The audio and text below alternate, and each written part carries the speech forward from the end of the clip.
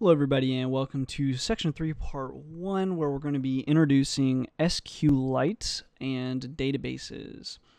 So, when you're doing any sort of data analysis or collection, you're going to be quickly finding that you need to store the data that you're collecting somewhere.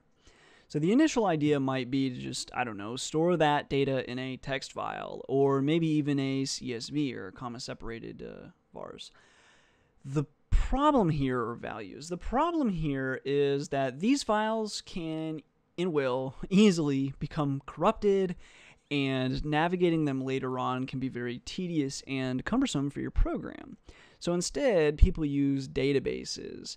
And databases, they're going to be easier to reorganize, they're going to be easier to navigate, and databases, almost all of them come with locking mechanisms, so you're not going to ever find yourself making multiple edits at any one time, and thus corrupting the database. So, uh, we're going to be talking first about SQL Lite or SQLite. So this is one of the most easy and lightweight databases out there, if not the lightest. Um, SQLite, as its name suggests, is a extremely light version of an SQL database. So this means that we're able to use some, not all, but some of the major SQL queries. Uh, but a lot or some are not going to be included because again it's a very lightweight version. So the usual ones like inserting and selecting data and updating, deleting, you know, and various commands like limit and all of that are included. So you can do a lot of basic stuff with it. So SQLite is included in your standard library, so you don't need to install it or do anything more there.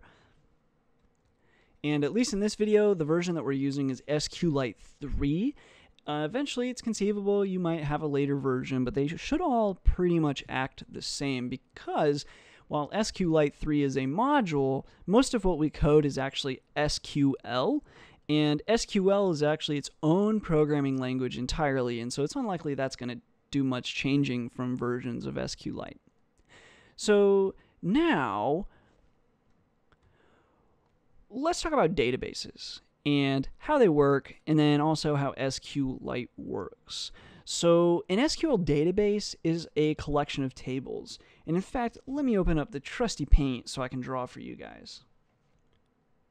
Now, I'm a pretty good artist, so don't get jealous. I've had a lot of practice. So, a database, most people kind of have a, a misconception of what a database is my handwriting is worse than this, so be, be appreciative.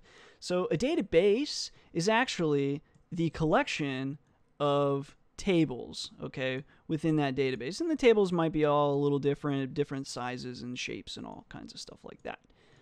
Okay. The database is just the collection of tables. So, what are the tables? Now, the tables are actually what people consider or think of when they think of a database. So the tables contain uh, columns and rows, and then the columns have data types and you know different data types, maybe different lengths, sizes, and shapes, and so on. But generally, a table you can think of a table in most cases in a, in a um, in an SQL database, anyways. You can think of it as a lot like a CSV file.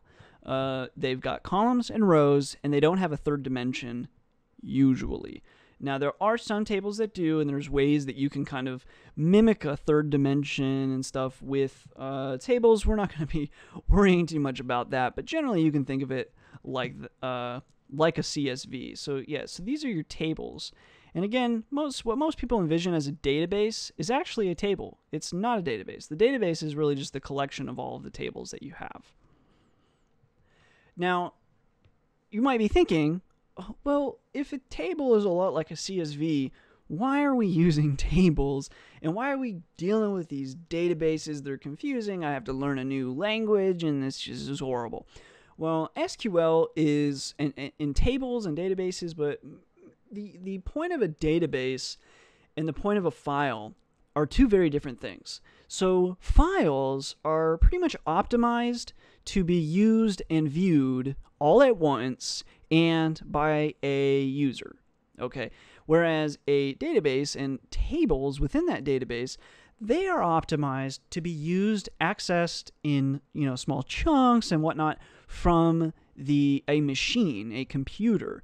And so they serve completely different purposes. While both could be used, you can you there are programs or you can even view the database yourself if you have like a SQL uh, database. There are database viewers for, say, you've got a web server, or even with uh, SQLite, there are database viewers for SQLite. So there are ways for you as the user to view your database, but generally the interaction and the use of a database is for programs, and the use of, like, say, a CSV for spreadsheets is for humans. Okay, but of course we can have programs also reading and understand C- CSVs at, at a rate much quicker than um, than humans and all of that. Now, the only other thing that I want to briefly touch on before we hop into actually coding with our SQLite is that a, a table contains, like we were saying, rows and columns, but then those rows and columns, well, the rows are just entries in the database, but the columns must be defined in advance. So when you build a, a, a, table, you have to use some foresight because to change a table later on, while possible, can present some serious problems, especially if you want to like add new columns or something like this. Also, you have to decide on your data type for the columns. So your columns have various data types. There's things like integers, real numbers, or floats, and then you've got text. And then with SQL, there's like 50 plus data types that you could possibly use. And depending on your application and what you're trying to build, uh, various ones may be the better choice for you, and you'll just have to kind of test. Luckily for us, SQLite, since it's so light, has really a lot fewer options and it will make learning it a lot simpler. And also, for most people, if you're not building a database that is like, you know, millions of rows deep, it probably doesn't matter that much which data type you use. But if you are someone that has a database that is like 10 million or 20 million, uh, then data types start mattering. It's it makes a huge difference sometimes. It might be 50% of your performance can come from using a better data type or index, but um, for most people, that performance is the difference between, you know, of like, let's say 50 milliseconds. Well, no one's going to notice that, so you're wasting your time trying to optimize. But if that difference is like five seconds and you're, you know, you're hosting a website or something, that's a, a big difference. So anyways, in the next video, we're going to be talking about how we create a database and then actually add a table within it with SQLite. Luckily for us, this is really, really simple. You can have a, a local MySQL database, for example. MySQL is, is what most websites use. Uh, and we'll be using MySQL later on. You can have a local MySQL database, but sometimes it is a massive pain to set up. So a lot of people, when they have local things or testing versions of websites or whatever, they actually use SQLite locally. So anyways, that's what we're going to be doing in the next video, so stay tuned for that, and thank you for watching.